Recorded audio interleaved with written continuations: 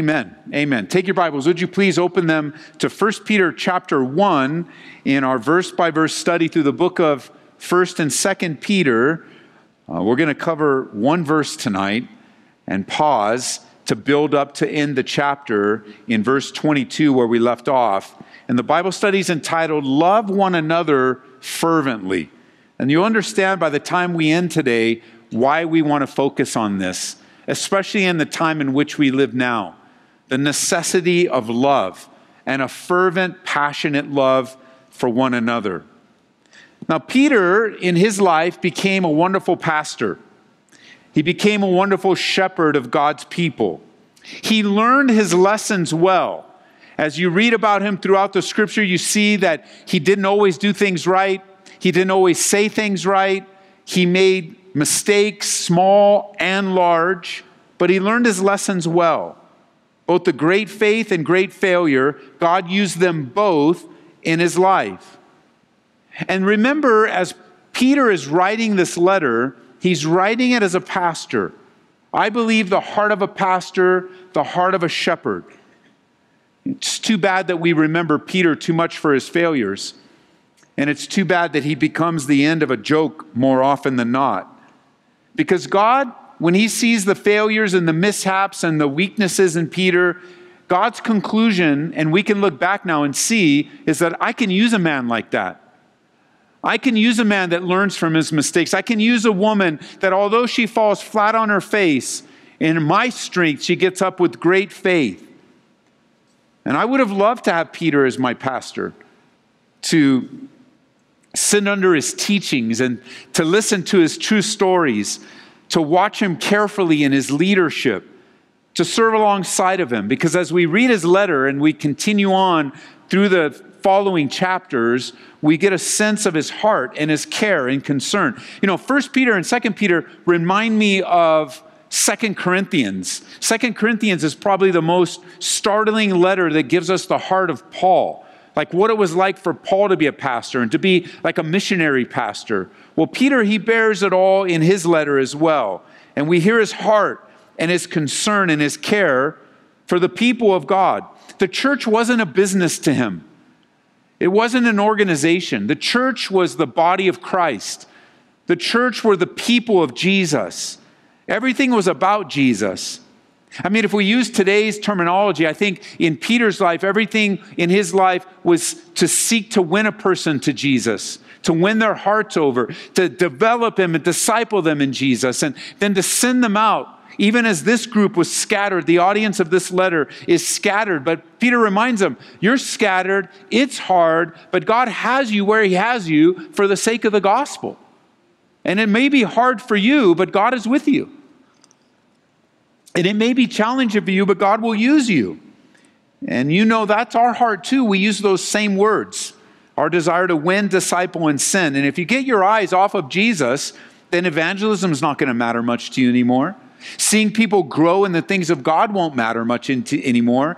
And even sending out will not be a high priority.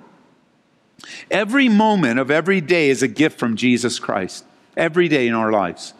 Every moment, every breath our lives aren't just simply to be spent and wasted on ourselves, but invested in the lives of others. Daily reminded of how Jesus lived for people. And he died and rose again the third day for you and for me.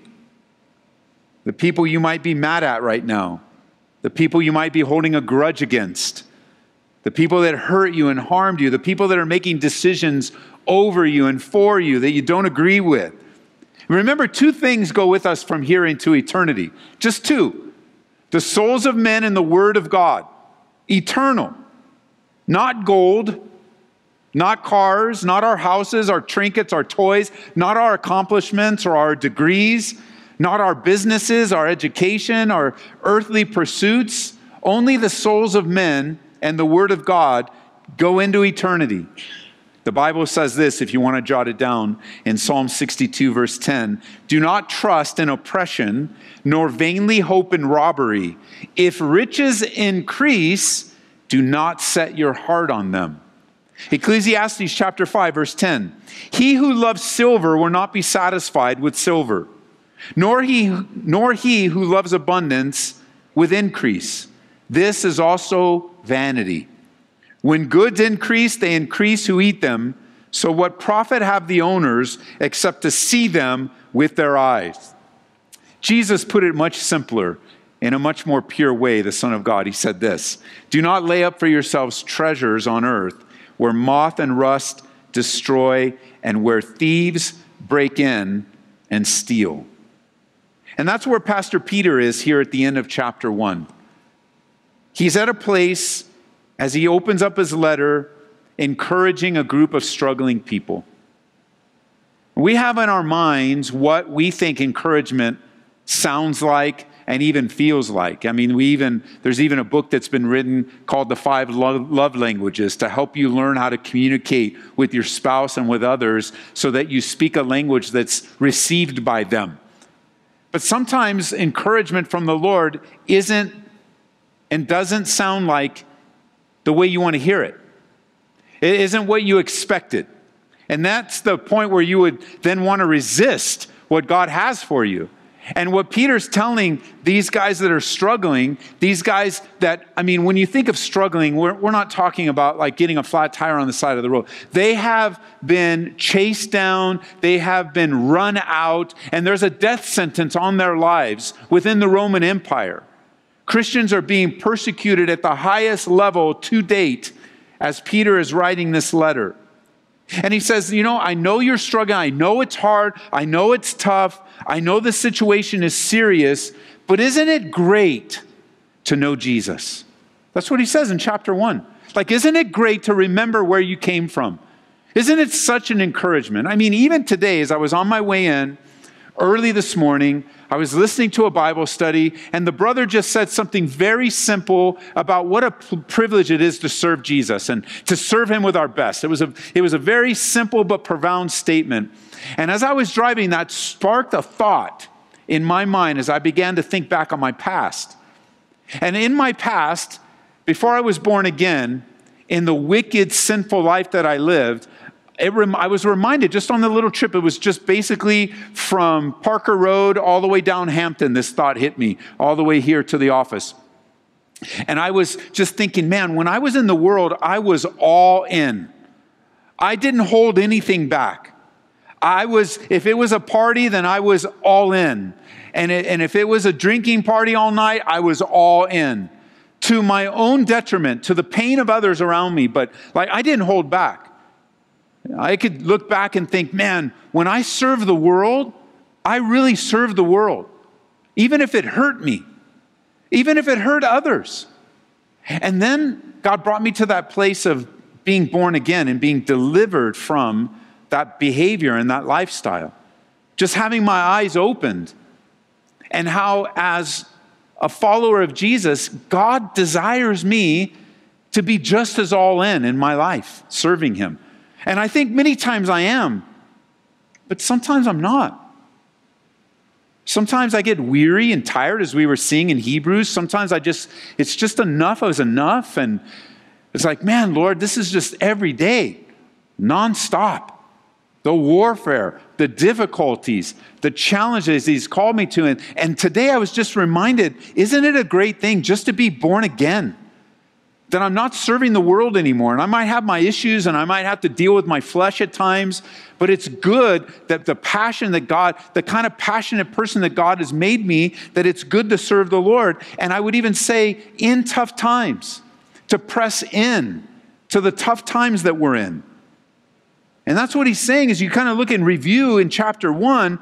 He, he reminded all of the scattered uh, under duress and trial, all the difficulties, says, Isn't it good to be saved and chosen by God? You're born again to a living hope awaiting an incorruptible inheritance. You're kept by the power of God. Your genuine faith is being purified and revealed. Your love is growing. So, what? Gird up the loins of your mind. Be ready for every good work. Rest your hope fully on the grace that's going to be revealed to you. Live holy lives. God values your life more than any earthly possession. That's what we need to hear in the midst of trials. It's worth it to follow Jesus. It, even if things get worse, Jesus is on the throne, and these things cannot be taken away from you. Things can be stolen, things can be taken away. You can lose your possessions, you could lose your peace, you can lose your comfort, but the reality of your spiritual relationship with God cannot be changed. It's unchanged. It actually becomes more valuable in difficult times is what Peter's saying. And you step back and go, man, I don't know how encouraging that really is. I just want to get out of my trial. I just want to have my way. But the question is this so Peter's sharing this in chapter one. It's a very challenging, difficult time. And the question is this even as it's neat how God wove our prayer requests together today, the question is this when somebody comes to you looking for help, looking for counsel, Maybe even asking this loaded question. And let me just say, this is a loaded question. You might want to write it down so you're ready for it. This is a loaded question to you. When somebody comes to you and says, What's your opinion on this matter? What's your opinion? Now, if you're not careful and you're not in a ready state, you might just give your opinion. But that question for your opinion is an open door to give that person God's opinion. Now, of course, if your opinion's been formed biblically, then give it. But when someone comes and asks your opinion on such and such and this and that, that's a loaded question. And if you're not, if your guard isn't up, you may just start spouting your opinion on a matter when you have gotten an open door to take someone to the very cross of Jesus Christ. Where do we take people when they come to us for counsel? When we hear of their difficult times, do we just settle for giving our wise thoughts and our deep opinions? Or do I pray with them and open the word to them and tell them what the Bible has to say about their current condition? Do I just pat them on the back and send them on their way? Or do I give them the word even if it's difficult to hear? Or sometimes, you know, if it's difficult to hear, then it's going to be difficult to deliver at the same time. It's going to be difficult to share the truth in love. But Peter gives us the example. He doesn't share, he doesn't tell them here in chapter one, oh, everything's going to be just fine, it's going to pass. He doesn't say that. He doesn't say, oh, don't worry about it. Maybe in a year or two, things will recover and you'll get everything back. No, he says, this is what you need to do. You need to get your eyes on the Lord. Begin to be appreciative once again that you are saved. You're going through this as a saved person, not an unsaved person. You're going through this with hope. You're, you're going through this with faith. And the worst thing that can happen to you is the best thing that can happen to you, and that you'll be in the presence of the Lord, and He will fulfill His word. Listen, what people need in times like these is not high minded opinions or low minded gossip. They need the word. And there's two things we're going to look in the next two studies. What they need is fervent love and God's faithful word. And today I want to focus on fervent love as we have in verse 22. With all the questions surrounding us today and all the things that, that God is speaking to us. Let me give you, before we move on, let me give you another loaded question uh, that you got to be careful with. And what I mean by loaded, I don't mean somebody's trying to trap you or anything. I just mean you need to be alert for this. And I was reminded of it today uh, in our staff meeting this morning and then also on the radio program today. I was reminded of this, and that is what will you do if something happens in the future? What will you do if?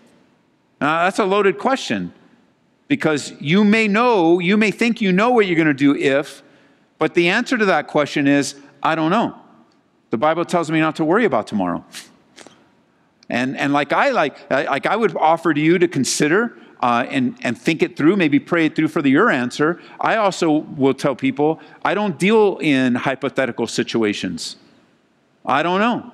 I believe the Lord will give me wisdom. If that, if that happens, I think God will give me wisdom when it happens. But until then, sufficient is the day I got enough to be concerned with right now of making decisions right in front of me that whatever happens a week from now or three weeks from now, I don't deal in hypotheticals because it's a trap. Because the hypothetical almost always is, designed to undermine your decision today. The hypothetical is almost always designed to undermine your solid decision today. And so I don't know. I don't, well, what's going to happen next week? I really don't know. Well, Ed, you know, what kind of answer is that? It's the answer of faith. I'm going to trust God today. And if He gives me next week, I've learned in the past that even in the most crisis situations, God can give wisdom if I'll listen to Him.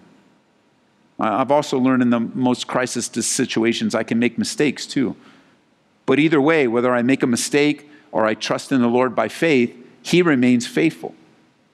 And so I just want to deal with what's today and what's in front of us. So notice with me God's, uh, what, what God has given to us in His fervent love. Look at verse 22.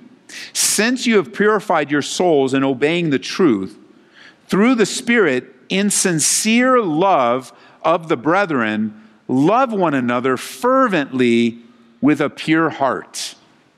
Love one another fervently. This is a command. In the midst of trial, in the midst of difficulty, in the midst of oppression, in the midst of, of just all, all hell breaking loose in a life, what's needed is fervent love for one another. That's what's needed. Can, can I show you what's not needed? Would you go over to Galatians with me in chapter 6? Would you just turn your Bibles? I want you to see this. I want you to compare. I'll tell you what's not needed in a time like this, in a time of difficulty in a time of challenges, in a time of, um, chapter 5 is where I want you to go. Galatians chapter 5. What's needed is fervent love. Here's what's not needed in verse 15. But if you bite and devour one another, beware lest you be consumed by one another.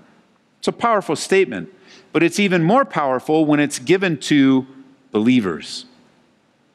I mean, think about it. Followers of Jesus Christ, born again men and women, biting and devouring one another, destroying one another. No, what's needed is fervent love. This word, if you like to write in your Bibles, you can circle it. It literally means passionate, continual, or intense. It speaks of a growing love. It, it speaks of a love that is on fire, if you will, hot hearted, passionate. James, he uses the word in James chapter 5, verse 16, he uses this same word in prayer. So have fervent prayer, the effective fervent prayer of a righteous man avails much. Have, have passionate prayer, have passionate love. It's a great word. This describes many things in the Bible. It's used in Luke 22, talking about a fervent desire. Luke 22, 15. Paul uses it when it relationship to serving in Romans chapter 12. In verse 11, not lagging in diligence, fervent in spirit, serving the Lord. And now Peter uses it in relationship to love. And you can see how it flows throughout the chapter. You've been saved, you've been loved by God, we've been given new life from God, a new direction, new purpose, new identity. And now God says, let love flow through you to the rest of your family of faith. Passionately continue. This, this is where it happens. Among us is where we practice. This is just practice. Practice on people that share the same core values. Practice on people that have the same spiritual life. Practice on those of us that care about God. So that why? That love spills over into a world that doesn't care about God, that doesn't share our core values, that doesn't, doesn't know how to handle trials, doesn't know how to handle difficulties. When all their hope is in this world, when this world starts caving in, people freak out. They just freak out. Oh, the world's going to end. The world's going to end. It is going to end, but according to the way God said. So get ready for the end. That's the message of the gospel. Get ready for the end. You're right. Things are going to go, they're going to get far worse than this. Well, what are we supposed to do? Be ready for the end. And what do we do while we wait? Fervent love for one another. Fervent love, passionate, on fire. Let, God love, get, let God's love flow through you. Paul actually, or excuse me, Peter actually uses two different words for love here. The first one is actually the Greek word Philadelphia. Uh, it's from where we get our, we, we know it comes from the root phileo, but that's actually the word he uses. It means brotherly love, it means a family type of love. It is a, a very strong word that speaks of that tight knit connection that we have together. The second word he uses is the word that res- describes the love that comes from God, agapeo. But what's interesting to me is that this reminded me as I was reviewing my notes, it reminded me of that incident. Turn back to John chapter 21 with me. It reminded me of that incident that Peter had with Jesus after the resurrection, where these same two words are used in the dialogue between Jesus and Peter.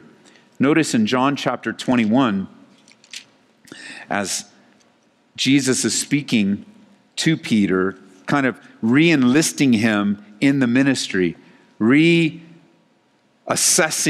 from his perspective where he is and where he needs to be. Pick up with me in John 21, verse 15. John 21, verse 15. When they had eaten breakfast, Jesus said to Simon Peter, Simon, son of Jonah, do you love me more than these? The word there is agape. Do you agapeo me? Do you, do you love me with that sacrificial love of God? Have you learned yet? Peter's answer was, Lord, you know that I love you. Now, you don't see this in the English, but in the Greek, this is the Greek word phileo. Jesus says, Do you love me with that self sacrificial, surrendered life yet, Peter? And Peter says, Jesus, you know I love you as a brother. You know I love you as a friend. You know I love you in, in a family way. And Jesus just said, Okay, then, feed my lambs. And then the next question, verse 16, he said to him again a second time, Simon, son of Jonah, do you agape or agapeo me? Do you love me with that supreme God's sacrificial love? And Peter once again answers, Yes, Lord, you know I phileo you. You know I love you as a brother. Come on now. Why are you asking me this? You know that's where I'm at. And he says, Okay. He answers him, Tend my sheep. And then he said to him a third time, Simon, son of Jonah, do you phileo me? Do you phileo me? And Peter was grieved because he said this, and he says, You know I do. I've said it to you. I think Peter remembered that moment, and he uses the same words here as he describes. He says, Look, it's both. It's not one or the other, it's both. Jesus never corrected him, never said, Don't you understand? Don't you, are you, do you not hear me? Do you not hear the word I just used? Do you not know the Greek yet, Peter? Of all, don't you understand? He doesn't correct him. He says, Okay, I'll meet you where you're at. I love that about Jesus. There's two things I learn about Jesus in his relationship to Peter. Number one, he meets him where he's at. And number two, he's always willing to take you to a higher level. I mean, if you're just in that realm of family love right now, and maybe even just learning what family love is, and, and that's just all you can do right now, Jesus says, okay, then get busy doing what I called you to do. And, you might be there again a year later, and he says, okay, okay, and then finally, just says, That's where you're at, that's where I'll meet you. I'll meet you right where you are. Just come and follow me. Do what I've asked you to do. And I love too how it's tied together with action. Fervent love is measured in action. It is for Peter, Peter could measure, and I think that's sort of as you tie it together, where his letters was one of the ways that he fulfilled this encounter. He is tending and feeding the lambs. He is he not only is tending and feeding the lambs and the sheep of God in that generation, but now 2000 years later, he's doing the same thing. He put it in writing so that it would continue to be a gift to his church until Jesus returns. I doubt that he even knew he was reading writing the Bible, that he was being used by God to write the Bible, but there he is teaching us about how important it is for us to have family love here today. Family love, not biting and devouring one another, not talking about one another, not talking behind one another's back, not trying to destroy a brother or sister, not trying to take away. I, I mean, one of the most challenging passages in all the Bible for me as a pastor is when Paul writes to the Philippians about those people that were preaching the gospel to add affliction to his chains. Remember that? How is that even possible? How can you preach the gospel with the motive to hurt someone else, to make their prison experience? How can you, in your mind, out of your mouth, share the good news of the forgiveness of God and the blood that was shed on Calvary? How is it possible that you could have that in your heart and at the same time want to destroy another brother? but it's possible. It happened to Paul. It may have happened to you. And so, what did Paul say? Some people are preaching the gospel with good motives, some people are preaching the gospel with bad motives. Well, what are you going to do, Paul? What do you think? You're going to praise the ones with good motives and put. And he says, uh, whatever way, as long as the gospel is being preached. And so, our motive and our hearts are to, hey, I'm not going to bite and devour. I want to learn how to love you. I want to learn how to love you as a brother. And when necessary, I need to learn how to lean on the Lord for a love that can only come from God for you. I'm going to learn what Peter would say later on that love covers a multitude of sins. And I'm just going to expect that there's going to be failure in this room. There's going to be failure among us that, that we are going to let one another down. Oh, not with ill motives, I mean, trying to do the best.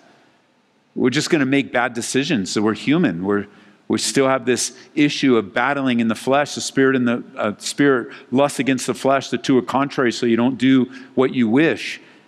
But I want to learn how to love you as a brother, as a sister, and I want to learn how to love you when necessary with the agape love of God, the self sacrificial love. And I think we do enjoy both here in the life in the time that I've been here in this particular church. When you love the Lord and you know how much He loves you, then you naturally love each other. And we're all at different stages of that. We're all learning what that looks like in our lives. We have a love in our church that, that laughs with those who laugh. We have a love that cries with those who cry. We have a love among us that serve and gives and sacrifices. We have a love among us that thinks of others more highly than ourselves. We have a love that helps when the help is needed because we live in a world filled with needs. And time and time again, the life of this church has filled needs, both known and unknown. We, we prefer, as a fellowship family, not to mention every single thing that people do in this church. Why? So that people don't get all the attention of the love flowing through this church. It would be very easy for me to print out emails throughout the week. I know sometimes attention comes with all the criticism things, but in my email box, the ratio of positive far outweighs the negative.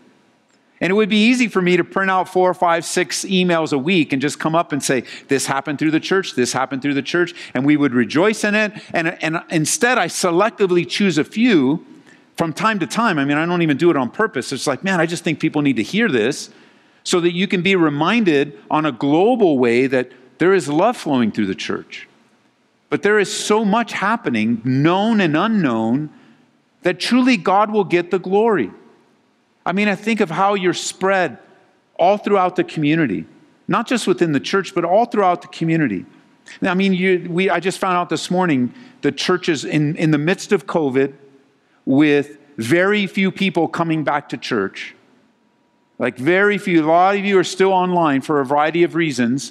Uh, and I know the Holy Spirit will bring you back when needed, but like for a lot, the church has, the, the, the larger global church still hasn't returned uh, not only here but many others, with all the COVID, with all of it, with layoffs, with having now to homeschool your kids when you go in. Now you have to because the schools are closing, and then you've got a job and you need daycare, and then and then you get sick, and then you're fearful, and you have fam. Like you think of all the pressure, all the pressures that our church has been under. But when I heard this morning, it was reported of the response that this that the church responded. I think near and far to the thank, the request for the Thanksgiving meals it was overwhelming. I mean, I was shocked. I, I didn't know uh, of, of, until this morning just how well the church responded. And the response of the need, you know, the, the request compared to the needs has been lopsided this year. Like, we don't have as many people asking for help as much as help has come through. I mean, that, that's fervent love. That's fervent love. Where whatever it might be, from a can or a case, case or you know, you brought in gift cards, whatever it might be, you, you might think, well, you know, it's just because you asked. No, it's because you answered the call the Lord asked you. You answered the call of the resources He entrusted to you. You were reminded of God's blessing in your life and you responded to it. I, am in ministry today because I responded to one of those calls, just one of those invitations in the bulletin. I just responded to it because I felt like the Lord wanted me to do it. And, and little did I know that it would put me on a pathway of what God had in store. I have no idea. And I just to think of your response and the over, it's just, we haven't done a lot this year. And what we've done, it's been behind the scenes. It's been the missionaries and we've done, but it's, it's like overwhelming. So, whether it's something like that, or some of you that have taken the, the role to coach a hockey team, or to coach a softball team, or to be there for your kids at their game, I mean, you help out with little emergencies. You help out with cleaning things up. And, and just the rise of people to clean, we have more needs for cleaning than ever before. And then we've had some challenges with those that haven't come in to clean and haven't, and then just people showing up to clean. Thank you. Thank you for showing up to clean because you're making it much more safer for the people that want to worship in person. But you're doing it as unto the Lord. And that is an act of love. Don't think about fervent love as just going around and hugging everyone real strong. I love you, I love you, I love you. Everything you do, seen or unseen, in the name of the Lord is a fervency of love. And people benefit from your life. When you visit the homeless or you go to someone's house that hasn't been in service for a while, or you go to the hospital when someone's sick, when you cook meals and you deliver groceries, when you help at the crisis pregnancy center, for love flowing, not only among us, but as preparation for what's, a, what's outside. Some of you are greatly convicted right now because you are examining your life. The Holy Spirit is examining your life right now, and you go, I just don't see any of that in my life. God is speaking to you to step up into phileo love. He's speaking to you to speak up into that. Man, I'm gonna, I, I'm just gonna be vulnerable and I'm going to care about someone. I'm going to reach out to someone. I'm going to put myself out there for the sake of the gospel. I'm just going to do it. And I'm just going to leave the results to the Lord. I'm going to send that text message. I'm going to write that email. I'm going to make that phone call. I'm, I'm going to step out. Some of you, you know, some of you love by your giving when you give your time. I think of you, you guys that are here among us that are on the front lines, medical, in the medical arena or on the, as police officers, and the kind of trauma and difficulty you've been on on the front lines, like on the front lines. And now with numbers spiking again, your workload. I was talking to sister earlier. Now, you know, in her job, she's working overtime because people are like, go and move on. And it's like, man, you're doing it all in the name of Jesus Christ. Don't forget that. What this world needs is to see fervent love, not fervent complaining, fervent love, not, not fervent anger, not fervent frustrations. They need to see and to feel and to experience the love of God through your time, your expertise, your talents, your money, your resources, more importantly, through your hearts and lives. Jesus didn't say that the world would know we're his followers because we meet in a building. He didn't say that the world would know we're his followers because of your great preaching and teaching, your great theology, how you can argue with people and knock them down because you're so smart with the Bible. No. In John 13 35, this is the mark of true discipleship that there would be a recognition of the world, the world, the unbelievers, people that hate God, don't want anything to do with God, make decisions all day, every day against God those people would know that we're followers of Jesus Christ because of our love for one another. That's how important it is. That's the teaching of Jesus. Love is so important. Fervent love among us is so vital that it is the witness that marks us in our relationship to Him. Love God with all our heart, soul, and mind and love our neighbors ourselves. That's how serious it is. We are the family of God. It starts with phileo, it grows into agape. You know, I think of agape love at times where, you know, agape love is required when we are unable to love. It's required when we're unable to care, where we yield and surrender ourselves to the indwelling of the Holy Spirit. And we remember we're a family, and families work through things. Families fight for unity. Families stick together, especially when times get tough. And you know, it's a neat thing to gather together, and that's what we are committed to doing. This room is truly, truly empty during the week, except maybe when the kids are in here for PE. It's truly empty. It's just a shell of a building. And when the kids, the academy kids are gone, then really with just us as the staff, the whole building is so quiet. It's so empty. But when the kids, like today, I was down there for, the, for lunchtime and the kids are all walking around, even though you hear a lot of shh, you also hear a lot of happy kids around the property.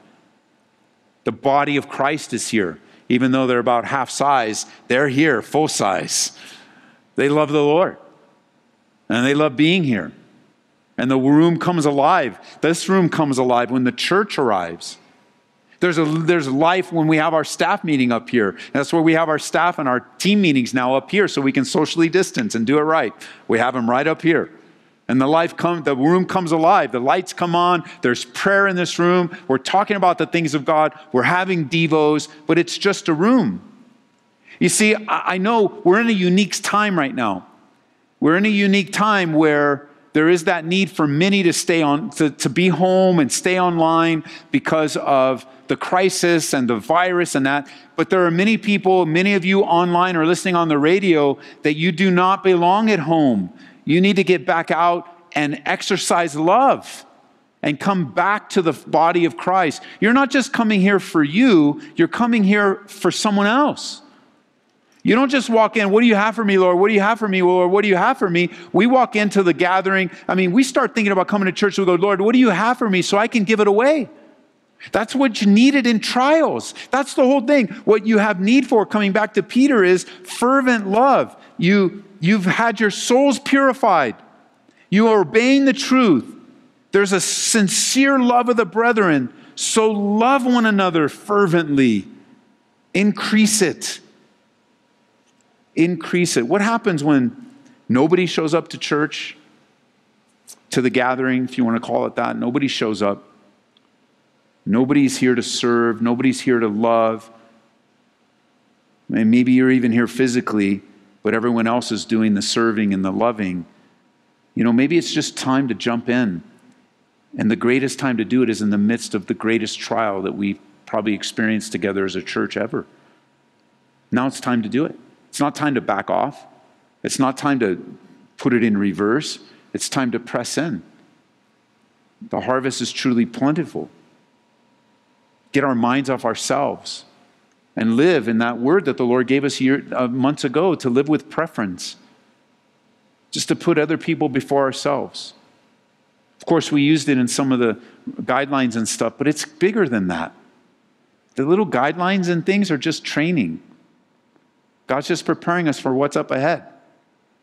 He's just training us right now for what's next and what's next until the Lord returns. He's just helping us train the next generation as they watch us, our kids and grandkids. He's just helping us display or not, uh, by our choice, the love of God to a broken world. As you get your mind off of yourself and get your mind back on the Lord, it's both rewarding now with promises of rewards in eternity. In Colossians chapter 3 verse 23 it says, "And whatever you do, do it heartily as unto the Lord and not to men, knowing that from the Lord you'll receive the reward of the inheritance because you serve the Lord Jesus Christ." Everything you do, you're serving the Lord. Everything you do. You're not serving man. You're not serving your boss. You're not serving the government. You're not serving your pastor. You're not serving your supervisor. The Bible says, as you do everything heartily, you do it as unto the Lord, knowing that from the Lord you'll receive the reward. And you can't miss this phrase, for you serve the Lord Jesus Christ. He's your Lord. So that means whatever is required of us, we go above and beyond that because Jesus deserves above and beyond. He deserves our best because he gave his best. He deserves what we have and more. And if we make it just about the person and the people, then we've missed the point. God is desiring you to step in so that you can practice this fervent love. Not a manufactured or a phony or a syrupy fake love. It comes through your life, notice, of the Holy Spirit in verse 22. The presence of the Spirit. It's sincere, without fakery. That's what he says sincere love, without fakery. The art of purity, a concern that's birthed by the Holy Spirit. I know a lot of people use this phrase in the church today looking for the spirit filled Christian. And they're always looking for the spirit filled Christian by some manifestation. And some churches even teach today falsely that the evidence of the Holy Spirit in your life is that you must speak in tongues. No. No, that's neither biblical nor true. The greatest evidence to look for in your life that you've been touched by the Holy Spirit is love. the fruit of the Spirit is love. The mark of Jesus Christ upon our lives is love. And if God has given you the gift of tongues, praise, praise God. But didn't he, didn't even Paul say that if you have the gift of tongues, but you have not love, you speak like angels, you got a heavenly language, but you have not love, you're like a clanging brass cymbal. And that'll remind you, you know, when you when we have a time of worship and you have a brother or sister up playing the drums, that they know how to play the drums. That's a blessing to the church, you know. Because somebody could get up there and play them really bad, and they could be a distraction. And they, take your mind off of the song and put it on, oh my gosh, what is going on? Why are they let? No, but somebody that's skilled. That's why we have skilled men and women on the stage that God has gifted spiritually so that they can just take you with their gifted and in unity and harmony together and just take us right into the heavenly realm with the songs that we sing. So you can have some of the greatest gifts, but if you don't have love, what profit is it? The evidence of God's Spirit in you is love. And as we'll see in the following verses in our next study together, what this world needs is it needs fervent love and God's faithful word.